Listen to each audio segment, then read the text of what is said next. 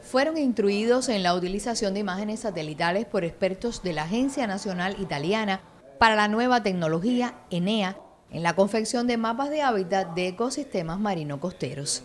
Técnicas de teledetección que nos permiten, a partir de una captura de información desde un satélite lejano, identificar recursos terrestres y marinos que pueden ayudarnos a resolver la gestión de la zona costera.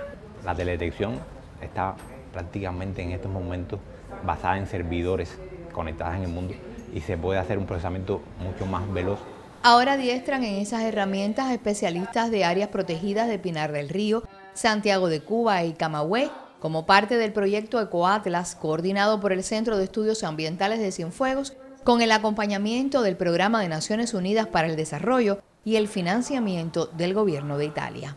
Es un proyecto de fortalecimiento de capacidades nacionales para los estudios de vulnerabilidad y riesgo para la adaptación al cambio climático usando tecnologías innovadoras que nos permitan eh, diseñar también programas de, alerta temprana. Están contemplados en los objetivos número 14 de los Objetivos de Desarrollo Sostenible. One of the things that Cuba needed was uh, to develop uh, some uh, national maps for uh, two things, uh, biodiversity in the marine environment and also potential of energy from the sea. So these are the two topics uh, that uh, we are uh, addressing within the EcoAtlas project. Iniciado a finales de 2022, los expertos del Centro de Estudios Ambientales han logrado ya una metodología para la confección automatizada de estos mapas de hábitat de arrecifes coralinos, manglares y pastizales marinos conocimiento que replican para todo el país en este taller.